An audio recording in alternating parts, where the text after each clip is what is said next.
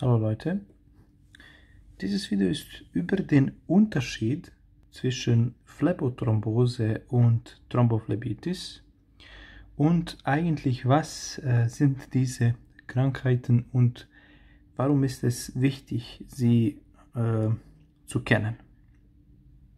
Eine Phlebothrombose, wenn man das äh, einfach sagen äh, würde, ist Blutgerinnsel in tiefen Venen. Also wenn das ein tiefes äh, Venensystem ist, haben wir hier zum Beispiel in der Vena poplitea die Ausbildung von Blutgerinnsel. Also das ist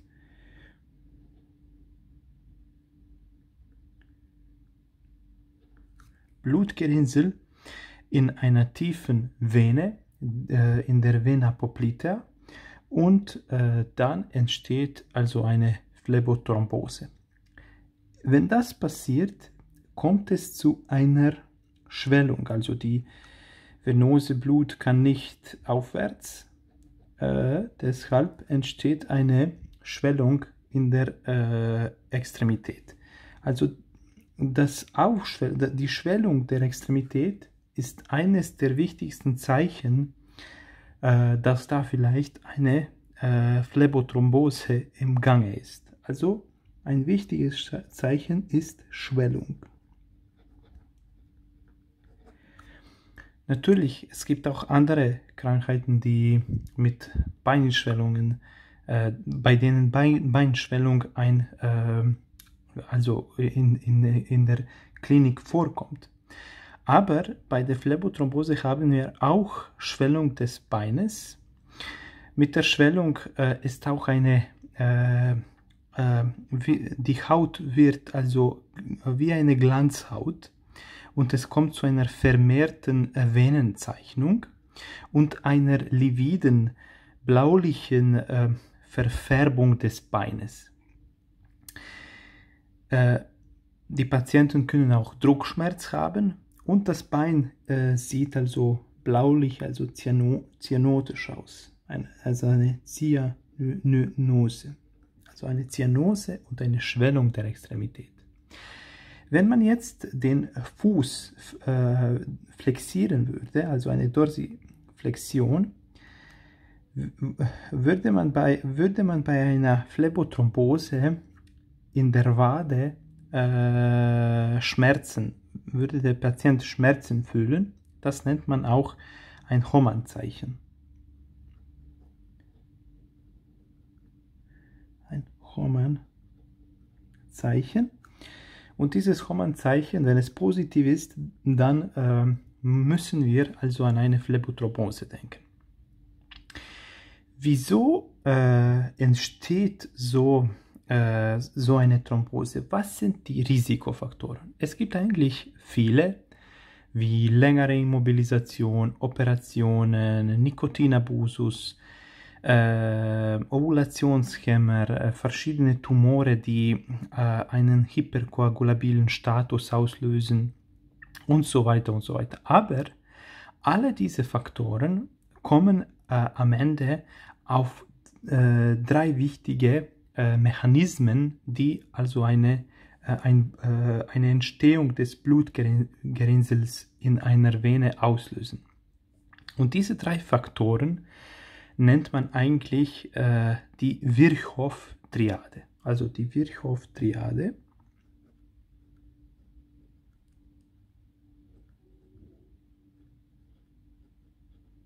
Oder das Virchow-Trias.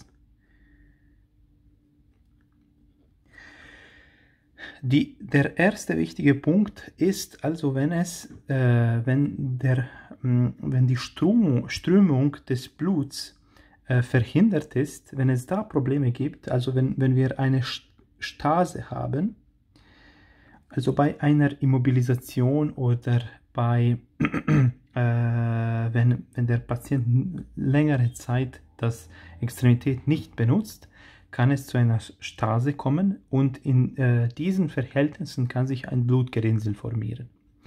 Dann, wenn es zu äh, Endothelschaden kommt, also wenn diese Zellen, die die Wand der Vene auskleiden, wenn es äh, äh, zu ihren Schaden kommt, dann äh, äh, haben wir auch eine Möglichkeit, dass ich hier, wo diese Endothelzelle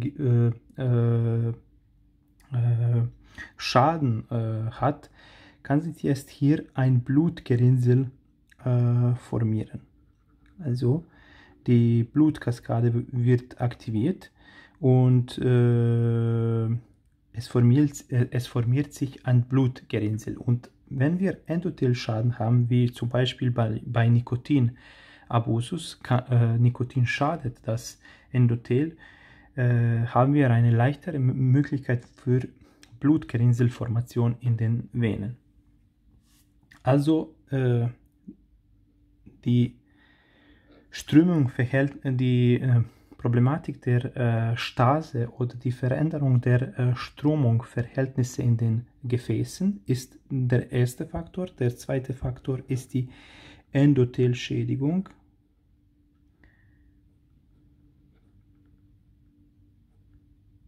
Also die Endothelschädigung. Und der dritte äh, wichtige Faktor, der äh, einen zu einem Blutgerinnsel führen kann, ist also ein hyperkoagulabiler Status, eine Hyperkoagulation. Äh, wenn sich also die, äh, wenn sich in unserem Blut die Faktoren, die für Koagulation sind, vermehren, kommt es also zu einem hyperkoagulabilen Status. Ein Beispiel ist, äh, wir können also Tumore, Malignome haben, die äh, verschiedene Proteine produzieren, die äh, so wirken, dass sie äh, äh ein, äh, äh, sie bewirken die, dass die Entstehung des, eines, eines Blutgerinnsels. Also sie wirken als Faktoren für die Koagulation. Das ist nur ein Beispiel. Und wenn es viele dieser Faktoren gibt, dann haben wir ein, äh, eine hyperkoagulabile, äh, einen hyperkoagulabilen Status, der dazu führt, dass sich ein Blutgerinnsel leichter formiert. Also das sind eigentlich Veränderungen der Blutzusammensetzung. Wenn sich jetzt äh, ein Blutgerinnsel formiert, äh, dann, äh, wieso ist es wichtig? Es ist wichtig, weil es am Ende äh, es kann aus den Venen rausschwimmen, also in, in das rechte Herz kommen und aus dem rechten Herz in die Lunge. Und es kann in der Lunge also eine Embolie auslösen und das ist das, was also den, Patient, äh, den Patienten sein Leben kosten kann und wieso diese Phlebothrombose sehr ein, ein, sehr, eine sehr wichtige Diagnose ist und wieso es ist, die, des, wegen dieser äh, Lungenembolie ist es wichtig, sie zu erkennen und äh, also zu therapieren. Eine Phlebothrombose.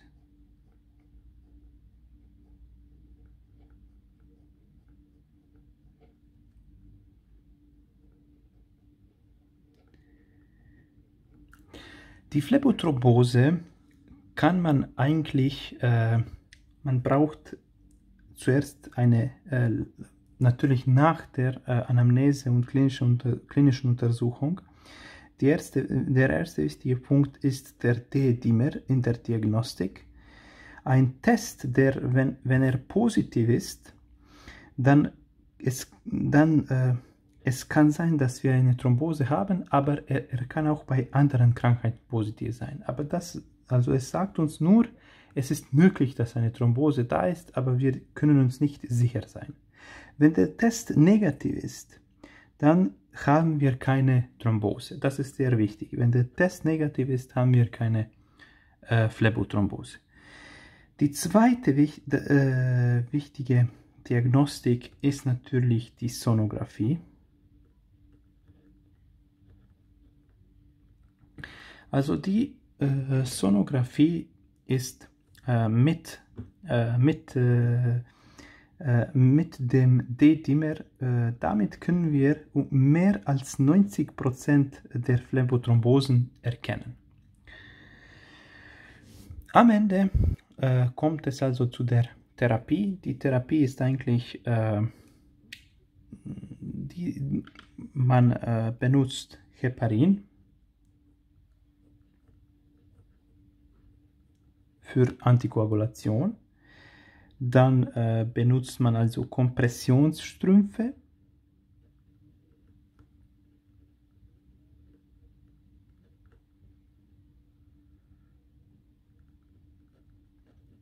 Und man äh, benutzt auch Mobilisation. Also das ist äh, grob gesagt die Therapie. Also die wichtigste Sache bei der Phlebothrombose ist, dass sie im Ende die Ursache für eine Lungenembolie ist. Am anderen äh, Ende haben wir auch, äh, und die wichtige Sache bei der Phlebothrombose ist auch, sie geschieht in den tiefen äh, Venen. Also eine Thrombose in den tiefen Venen. Am anderen Ende haben wir also äh, die Thrombophlebitis.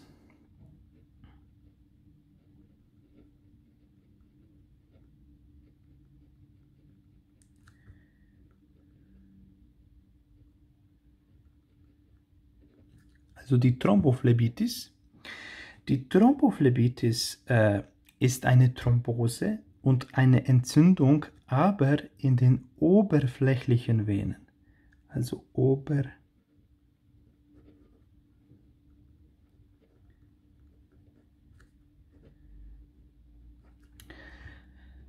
Das ist sehr wichtig. Also diese Thrombophlebitis ist eine Entzündung und eine Thrombose in den oberflächlichen Venen. Also das ist die Vena saphena magna und wir sehen hier ist die Entzündung. Und bei der Thrombophlebitis ist äh, die, es, wir haben auch Schwellung, aber die Schwellung ist nicht so ausgeprägt wie bei der Phlebothrombose,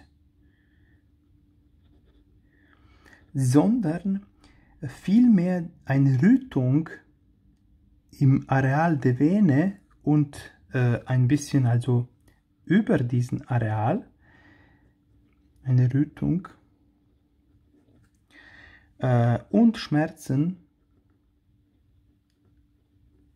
in diesem Teil, wo die äh, Entzündung stattfindet. Also vielmehr haben wir diese äh, äh Entzündungszeichen als äh, Zeichen, äh, dass irgendwo ein Stau im Venensystem ist.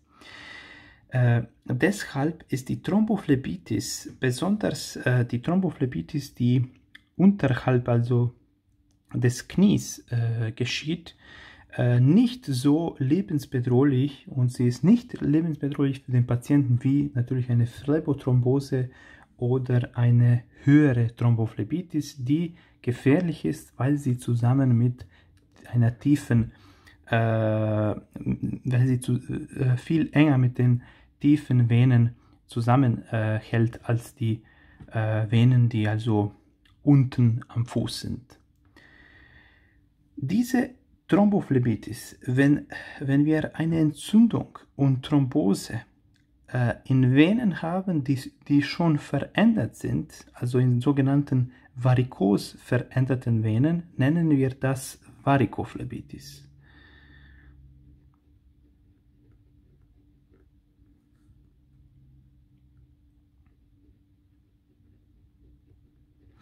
Also diese Vena saphena magna man sieht, dass sie diese knotigen Veränderungen hat und dann hat sie sich noch entzündet. Dann nennt man das, also das ist eigentlich eine Varikosevene und wenn sie sich entzündet, äh, ist sie natürlich dann, äh, äh, ein, dann, dann haben wir einen Varikophlebitis in dem Bereich der Vena saphena magna. Die äh, äh, varikosen Venen entstehen durch äh, also eine Insuffizienz dieser äh, Venenklappen in den Venen. Also normalerweise fließt, die, fließt äh, das Blut nach oben zu dem rechten Herz und die Klappen verhindern einen Rückfluss.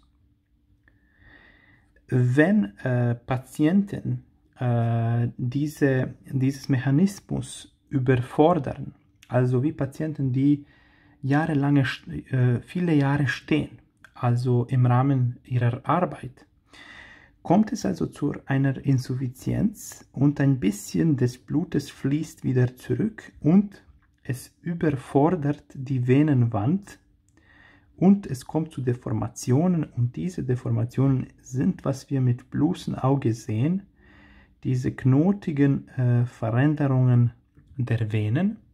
Und wenn sich das äh, am Ende entzündet, bekommen wir dann äh, einen Varikophlebitis. Die Therapie äh, dieser Situationen ist nicht steroidale Antirheumatika, Kühlen, Mobilisation,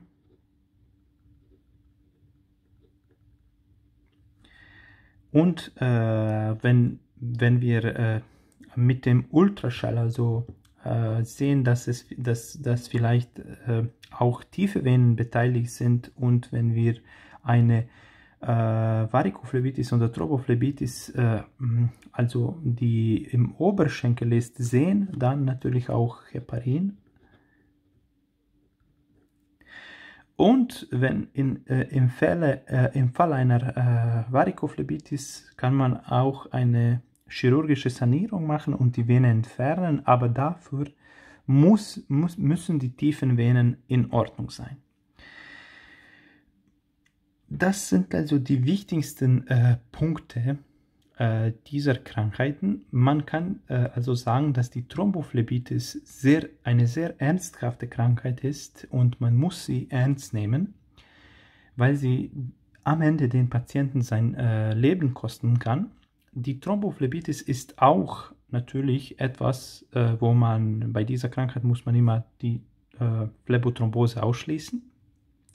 Aber die Thrombophlebitis ist eine äh, Krankheit, die besonders im Unterschenkel nicht so äh, dramatisch ist. Äh, eine, eine große Fläche, also wenn äh, die ganze Vene, Vena saphena äh, magna, entzündet ist oder wenn wir äh, äh, Varikophlebitis haben, wo die, der, der ganze Oberschenkel beteiligt ist, dann ist das auch also etwas, äh, wo äh, eine Krankheit, die wir ernst nehmen müssen.